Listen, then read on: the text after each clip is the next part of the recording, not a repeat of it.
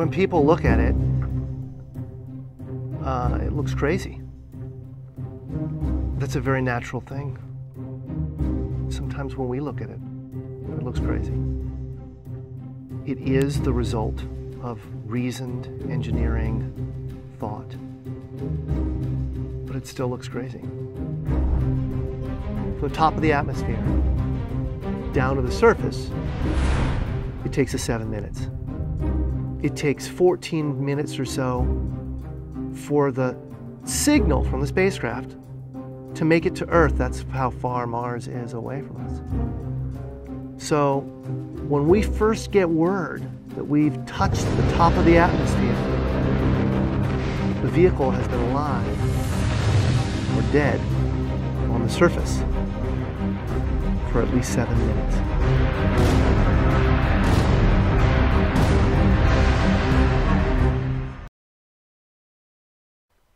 Hi, this is Karen McKee, the scientist videographer, and what you just watched was the opening of the NASA video Seven Minutes of Terror, which is about getting the rover Curiosity safely down onto the surface of Mars.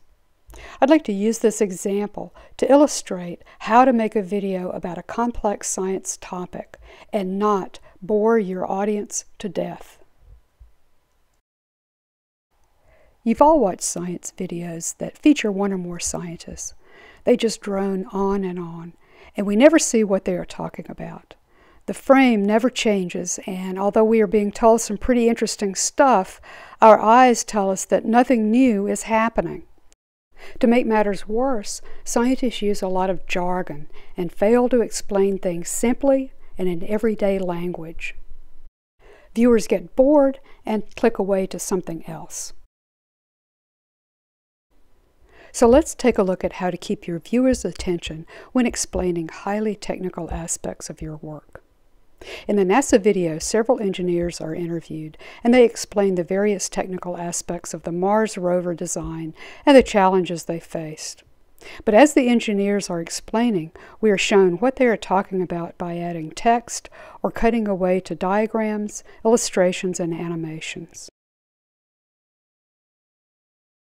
Take a look at this example and notice how this was done. Entry, descent, and landing, also known as EDL, is referred to as the seven minutes of terror because we've got literally seven minutes to get from the top of the atmosphere to the surface of Mars, going from 13,000 miles an hour to zero in perfect sequence, perfect choreography, perfect timing, and the computer has to do it all by itself with no help from the ground. It, if any one thing doesn't work just right, it's game over. By cutting away from the speaker to a graphic showing the descent of the rover, the segment is more visually interesting and aids the viewer in understanding the details of the landing. You can accomplish the same thing by adding footage or photos of plants, animals, landscapes, equipment, maps, graphs, and people. But there's more to it than just adding interesting things to look at. You need to ensure that the viewer understands what the experts are saying. In the NASA video, speakers defined essential technical terms and explained everything else in everyday language. Analogies are also useful, as in this example. At that point, we have to get that heat shield off. It's like a big lens cap blocking our view of the ground to the radar. The radar has to take just the right altitude and velocity measurements at just the right time or the rest of the landing sequence won't work. Another method is to have the technical details appear in on screen text while the speaker explains using non technical language. Because it has just enough atmosphere that you have to deal with it, otherwise, it will destroy your spacecraft. On the other hand, it doesn't have enough atmosphere to finish the job. But bombarding the viewer with a series of facts is not very effective. Instead, the NASA video organized the information into a story using a three part structure. First, the setup, which grabs the viewer's attention and sets things in motion. So, when we first get word that we've touched the top of the atmosphere, the vehicle has been alive or dead on the surface for at least seven minutes. The exposition, which provides details about the obstacles that must be overcome.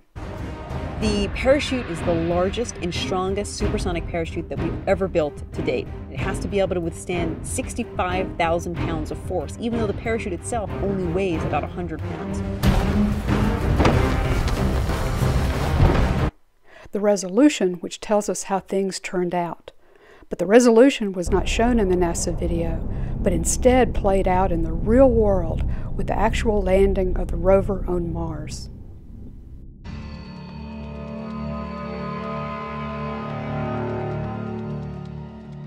Things are looking good. Coming up on entry. We are beginning to feel the atmosphere uh, as we go in here. Uh, it is reporting that we are seeing G's on the order of uh, 11 to 12 Earth G's at 90 meters per second at an altitude of 6.5 kilometers descending. Standing by for backshell separation.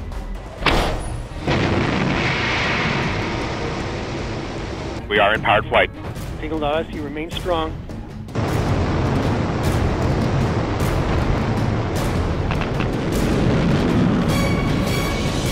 Touchdown confirmed. We're safe on Mars.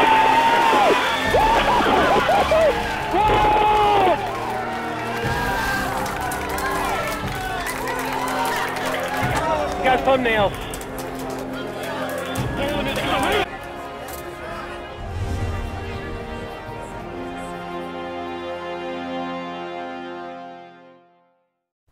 Well, that's a brief look at how to make a science video that does not bore your audience. This NASA video illustrates some really great ways to not only keep viewers watching a video, but to draw people's attention to an important scientific event.